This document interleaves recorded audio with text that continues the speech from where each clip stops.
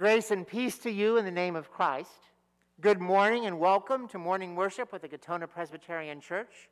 We welcome our friends in the sanctuary and all of our friends who are watching with us online. Today is the Martin Luther King Sunday, and we are thrilled to have as our guest George Williamson. George and Carol have been worshiping with us for several months now. George is a retired pastor, college professor, and chaplain and his roots in the civil rights movement go back to February of 1960. And I think he'll tell us more about that in a bit. But welcome, George. We are so thrilled to have you with us this morning and are looking forward to the word that you'll bring. Also, by tradition, on this Sunday, we usually have the community wide interfaith Martin Luther King service at Antioch Baptist Church. This year, out of concern for COVID, that service will be entirely online but if you go to the Antioch Church Facebook page, you can go to facebook.com and then the slash, then it's all spelled out, the Antioch Church NY. And I don't know precisely when that service will drop, but it should be posted on their Facebook page later today. And you could probably also find it on the Antioch Church website. And so I hope you'll take advantage uh, in participating in that service when you can. God has called us to worship. I invite us to join in the call to worship. Friends online, you can say this responsively with me. Friends in the sanctuary, I invite you to meditate on the words as I read them. We gather to worship God, who creates us and loves us, who gifts us with diversity and makes for us a community, who gives Jesus Christ to show us how to live who inspires children, youth, young adults, and people of all ages to seek justice, share power, and live together in love and equality, who invites us to join the struggle for wholeness and well being for all, and whose presence, grace, and love sustain us in our living. We gather to worship God. To God be all glory, honor, and praise.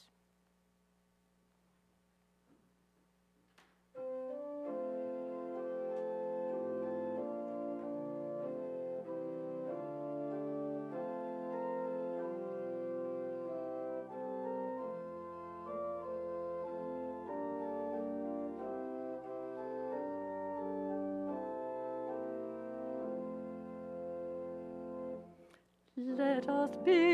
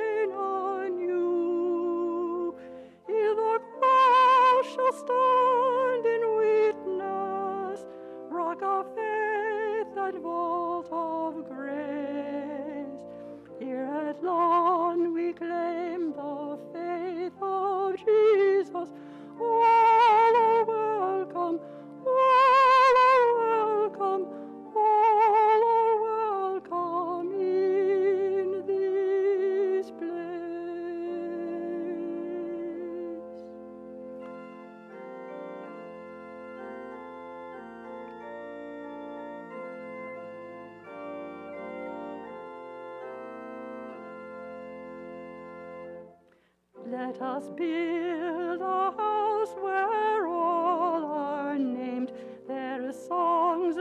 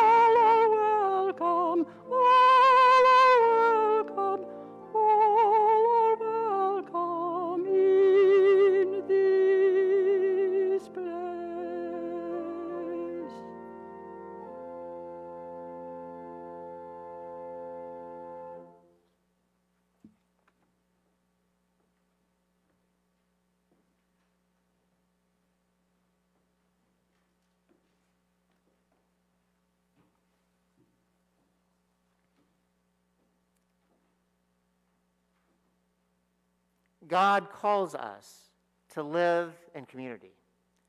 God gives us opportunities and the strength to be the headlights and not the taillights of society, as Dr. King said. Yet, in our sinfulness and brokenness, we become separated from one another through the wrongs we commit or allow to happen. But God's forgiveness and grace empowers us to work toward restoring justice for all people. Friends, I invite us now to confess our brokenness first in silence and then together in the community confession.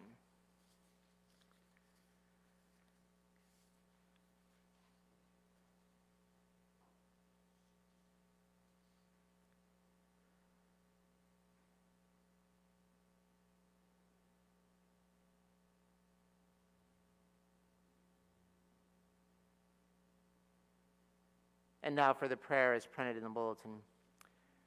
Gracious God, we acknowledge and confess our slowness to do good, our indifference to injustice, and our complicity in deferring the dreams and hopes of the oppressed. Forgive us, we pray. Help us to heed your call to do justly, to love mercy, and to walk humbly with you, our God. Amen. Friends, believe the good news. In Jesus Christ, we are forgiven and made new. Amen. The peace of Christ be with you, with all of you. Exchange with your neighbors a sign of God's peace. Peace be upon you.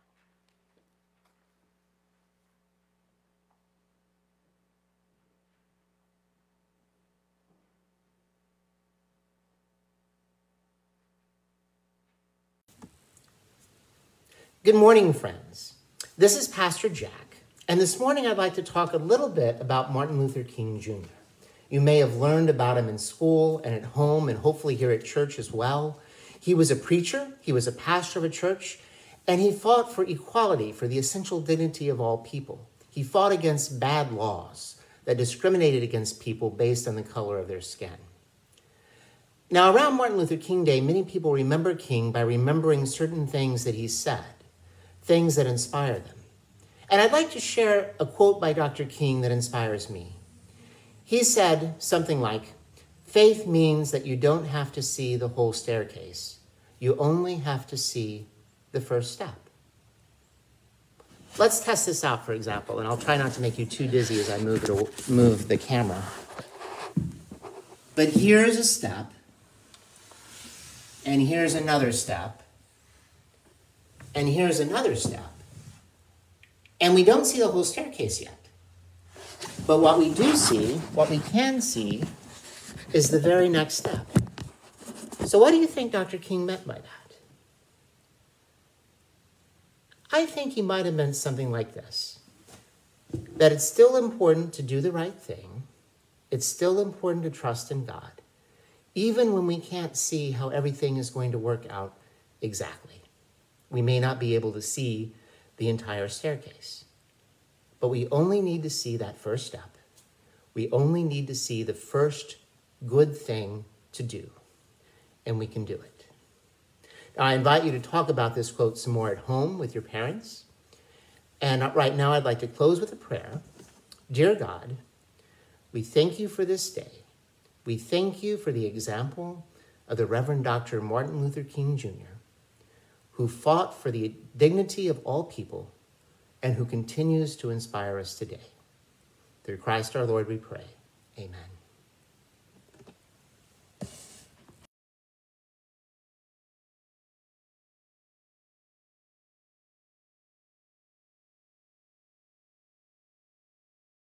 Join me in the prayer for illumination. Guide us, O God Please join me in the prayer for illumination. Guide us, O God, by your word and spirit, that in your light we may see light, in your truth find freedom, and in your will discover your peace. Through Jesus Christ our Lord. Amen.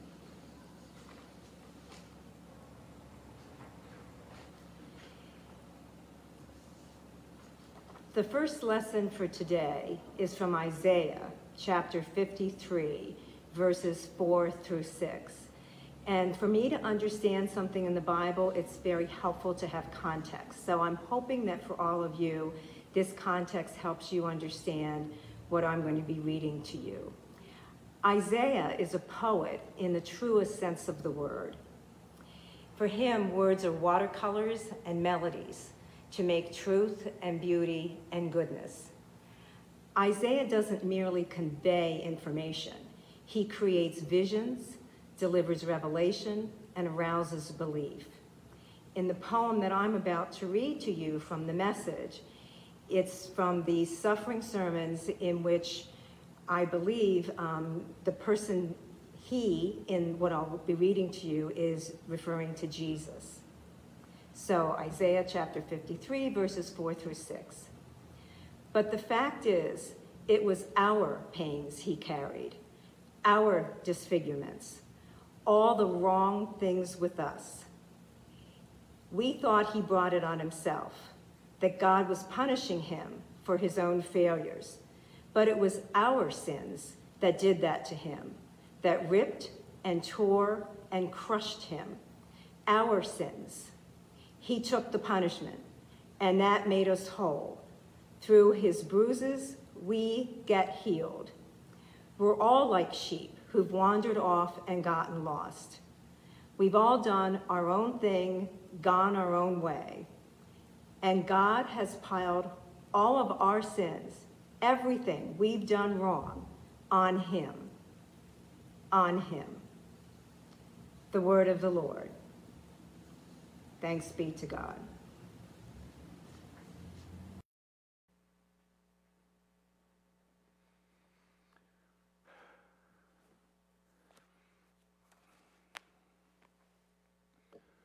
Good morning.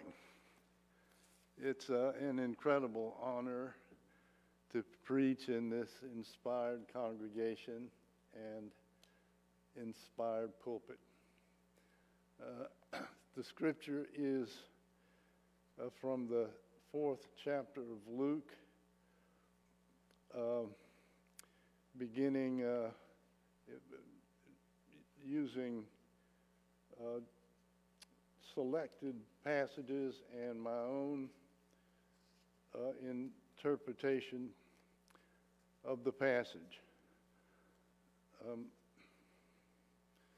let me see, I might have to find it in here.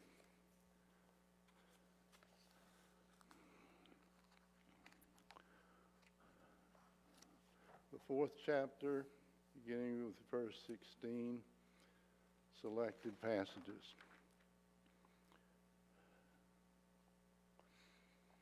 When he came to Nazareth, where he'd been brought up, he went to the synagogue on the Sabbath day, as was his custom.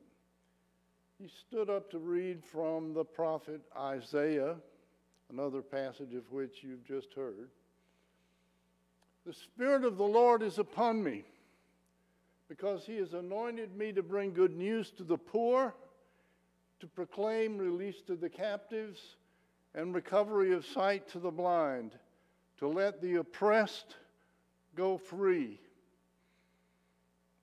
And then he said, Today, this scripture has been fulfilled in your hearing, and because a prophet is not is without honor in his own hometown, the crowd in the sanctuary rose up in fury and ran him out of town. Well, I grew up in a church like the synagogue Jesus grew up in, a fancy church in Buckhead, Atlanta's privileged quarter. Uh, good news to the poor didn't sound like good news to us. Release of the captives to the police chief on the third row sounded like letting criminals out of jail. Recovery of sight to the blind, the ophthalmologist who sat behind us would, thought, would have thought to be quackery. And uh, let, let the oppressed go free. Well, that was exactly what the awful Martin Luther King across town was saying to the poor people there. Nobody dared say that in my church. If they had, it would have sent us all into an uproar, me included. My people and I were born in sin, living in sin. Most famous Christian in those days was Billy Graham, who I thought was like Jesus. Which means, if you think about it, I thought Jesus was like Billy Graham. Billy Graham's preaching convinced me that I was born in sin, living in sin. In time, I came to think of sin as especially our Jim Crow culture. But that was not what Billy Graham said it meant. And I wanted to be like Jesus, like Billy Graham. Uh, 10,000 more or less of us lived in Buckhead from uh, in those days, in the 1950s, some very privileged. None were black, not one.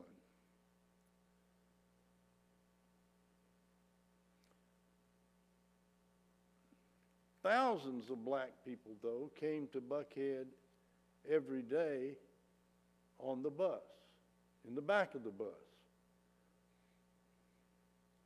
Came from the Negra section of town. By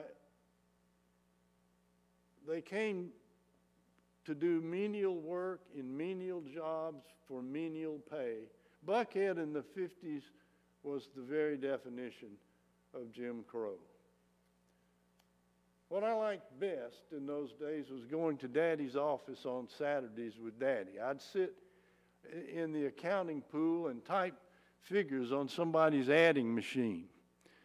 Uh, and I would pull the crank and roll out the figures down on a spool of paper to the floor. And then I'd go to Daddy's window and look out at the tall buildings downtown. What I didn't look at was across the street, the Negra section, where people came from to, bu- to buses to Buckhead in the back of the bus. I could see their church from Daddy's window.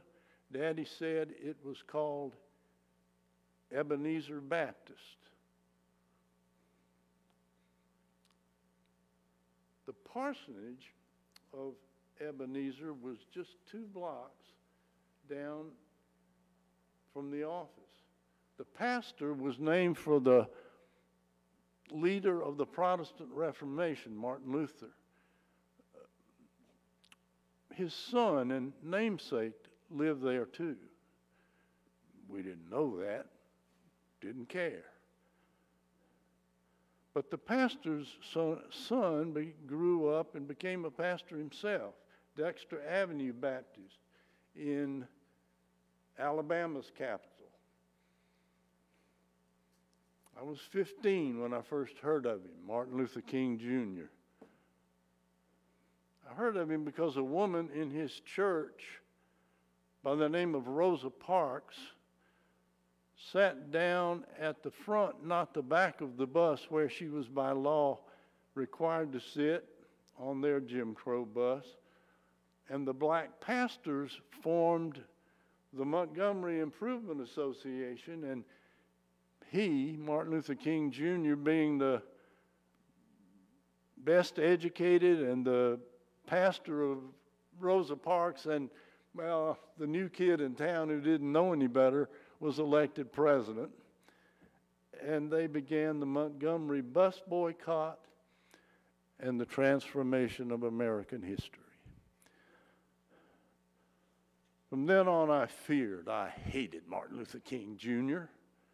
All I knew of him was carefully edited distortions in Southern Jim Crow media, which never mentioned his PhD from Boston University, his biblical preaching, the hymn singing of his followers, his biblical preaching, the charisma of his oratory, never his prophetic reasoning or its foundation in Scripture, let alone his compassion for the likes of me.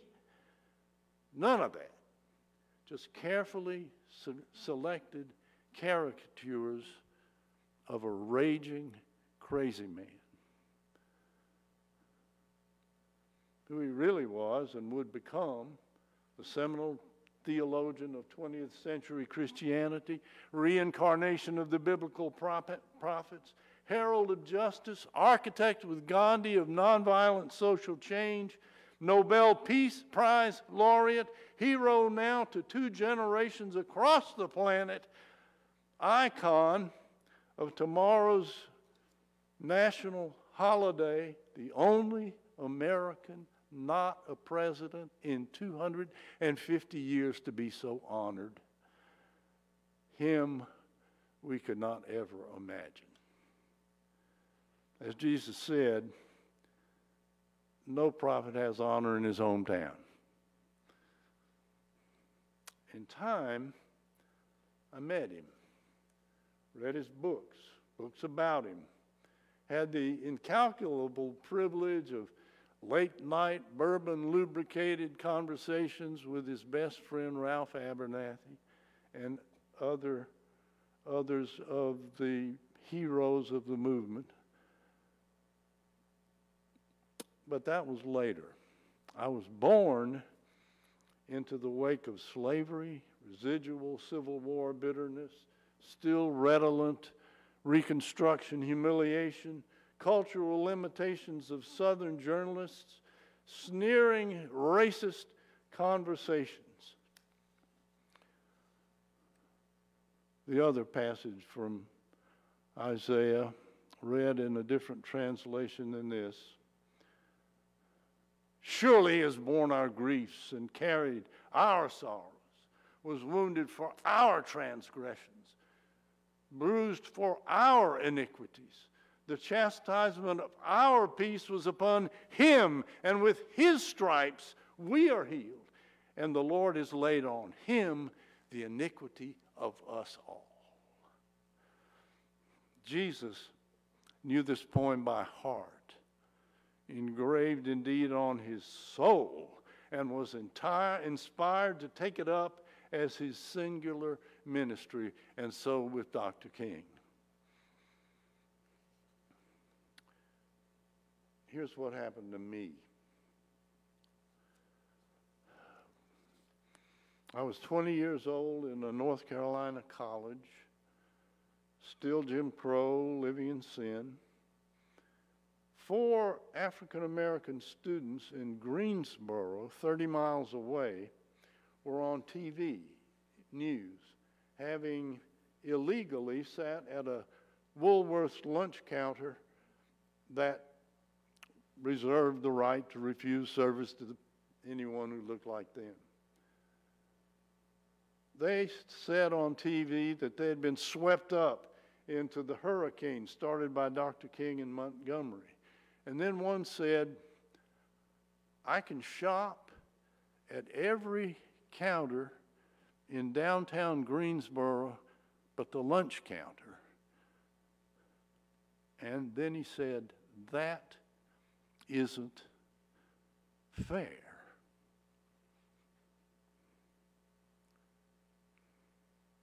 Well, something like, that was something that even I, Jim Crow as I was, could understand.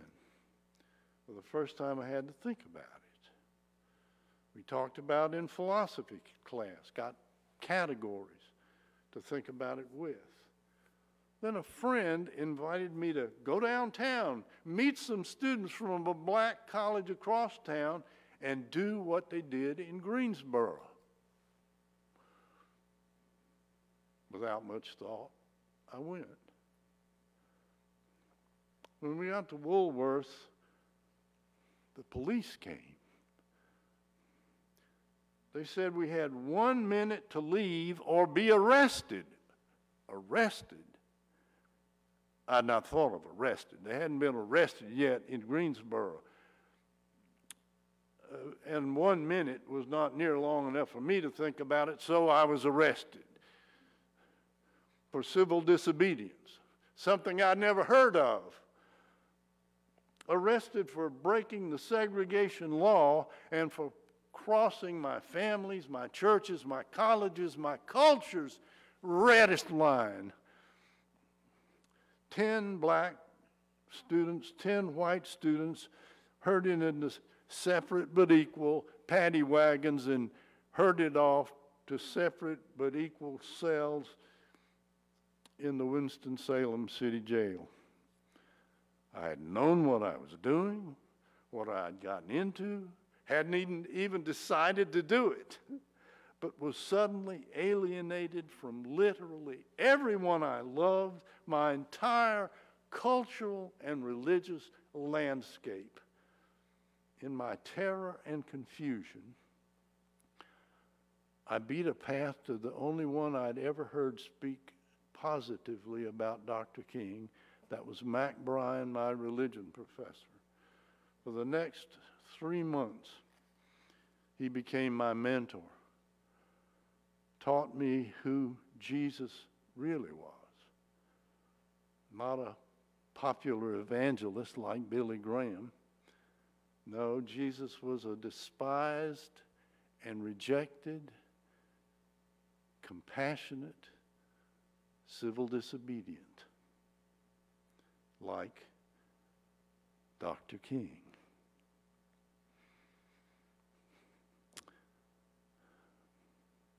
Like my first black partners at the lunch counter, who were, by the way, the first black peers I'd ever met, even I was swept up into the mo- movement of Martin Luther King Jr., the kid down from daddy's office who used to celebrate his birthday on January 15th with his parents and a few friends.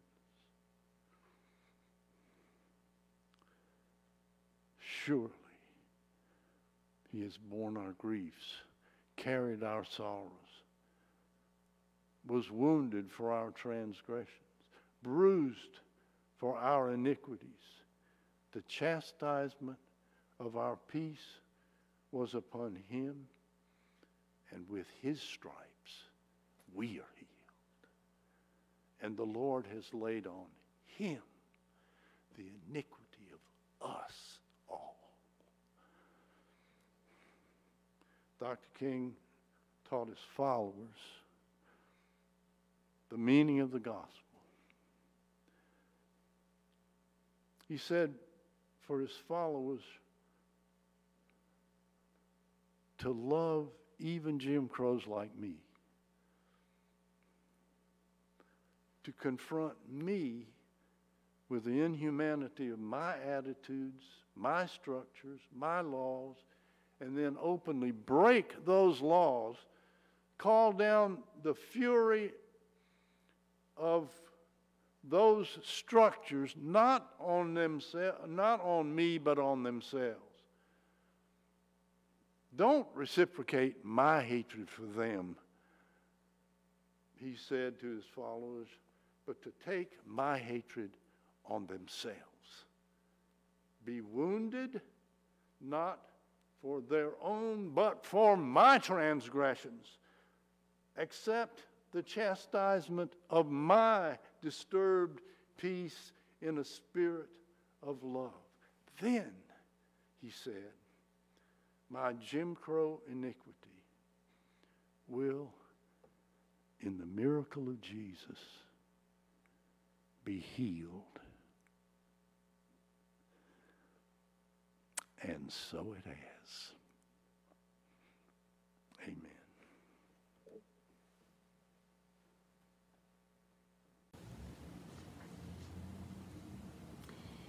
Thank you all for your generous support of KPC, um, especially in this time when it's so important to support the fact that we can all have a physical home to come to at this church. With gladness, let us present the offering of our life and labor to the Lord by taking your everyday, ordinary life your sleeping, eating, going to work, walking around life, and place it before God as an offering.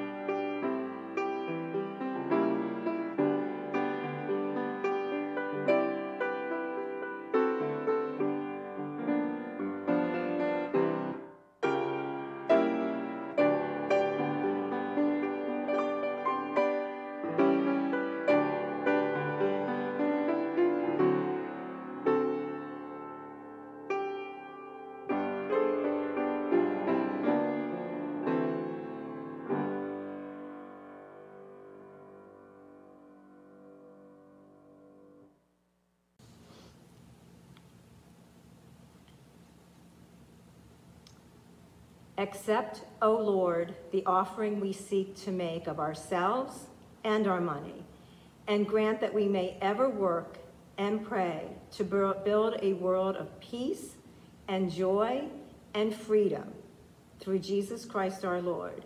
Amen.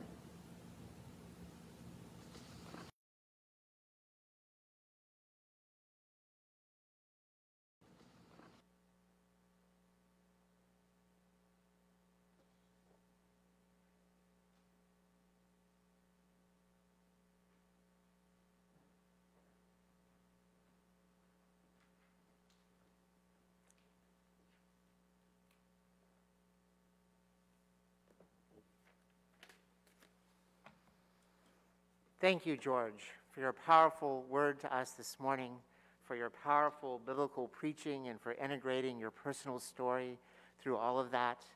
Um, I hope you'll go back and watch the service on Facebook because there are a number of comments uh, on the Facebook live stream offering their thanks to you. And I know that our friends here in the sanctuary are looking forward to giving you a socially distanced thank you and amen as well. Amen. At this time, we share joys and concerns in our church family. For friends worshiping on Facebook, I have my comments open on the phone, and I'll, uh, if you have permission to share a prayer request, we will do that this morning. Uh, friends here in the sanctuary, um, you can text me at the number that's printed in the bulletin if you have a prayer request that you would like to share and have permission to share.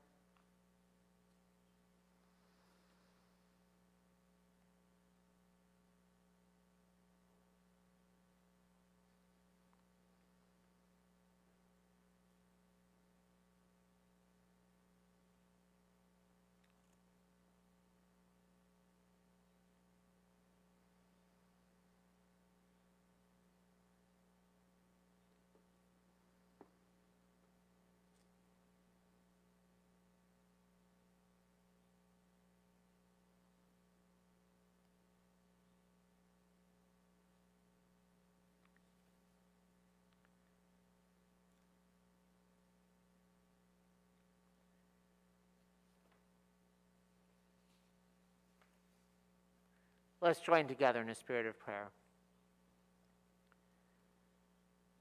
God of all races and nations, we praise you for all your faithful servants who have done justice, loved mercy, and walked humbly with their God. For apostles, martyrs, leaders, and saints, and for humble folk whose names were never in the news, but are recorded in your book of life, we give you thanks, O God. Especially this day, we thank you for the Reverend Dr. Martin Luther King Jr., for his courage and conviction, for his passion for peace, and for his tireless quest of a nation that keeps faith with its promises. We give you thanks, O God. And for countless others who stood in the front lines and marched, integrated schools and restaurants, or sat in buses and refused to move, we give you thanks, O God. For nameless multitudes who suffered the tortures of slavery and the tyranny of oppression, and for the nameless multitudes today whose lives are stunted and cut short by economic and social structures of brutality. We grieve and promise to work for justice, O God.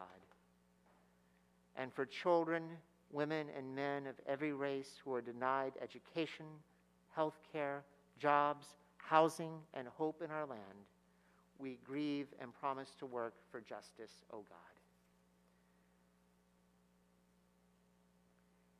Hear us now as we offer prayer concerns. Gracious God, we offer thanksgiving for the life of Martha's friend Charlene, who died last year.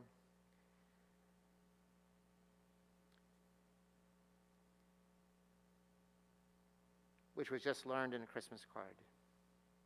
So we pray for all those who are grieving, whether that grief is ancient or new. We pray for healing of all those who are suffering from COVID. We pray for safety for the healthcare workers and first responders. And we pray for this surge to end and for the pandemic to become more endemic and less of an interrupter of our daily lives. All these hopes we pray and pour out, O Lord.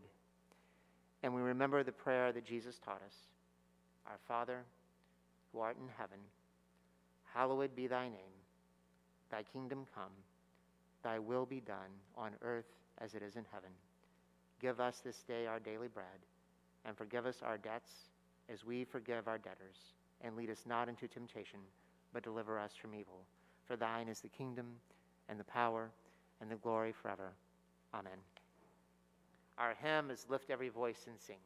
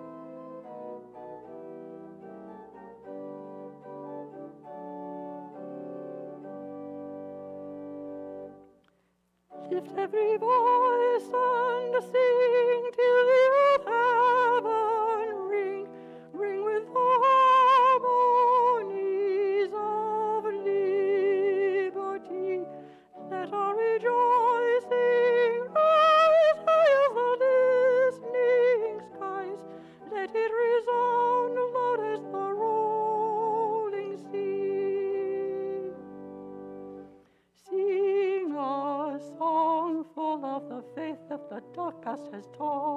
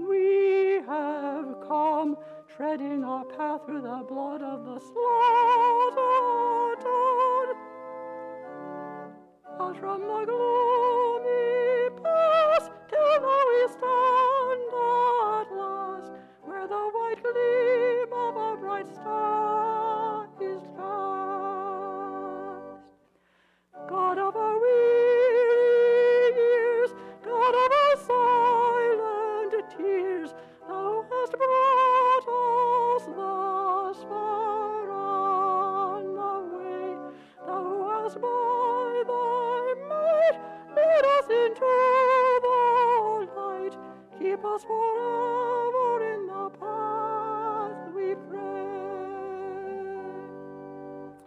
lest our feet stray from the places, our God, where we met thee, lest our hearts, drunk with the wine of the world, we forget thee.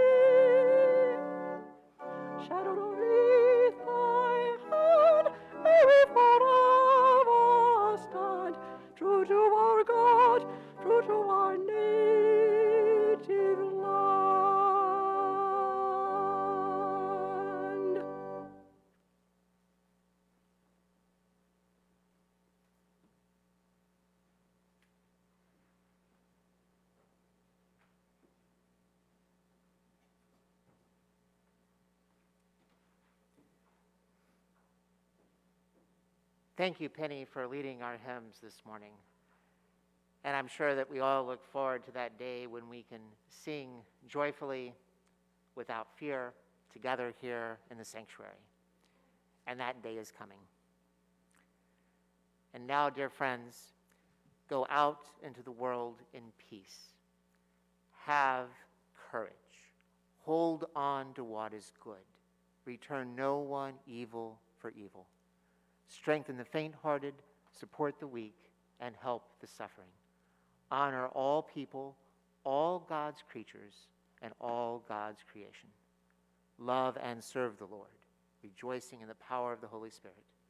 And may the grace of our Lord Jesus Christ, the love of God, and the fellowship of the Holy Spirit be and abide with all of you. Alleluia. Amen.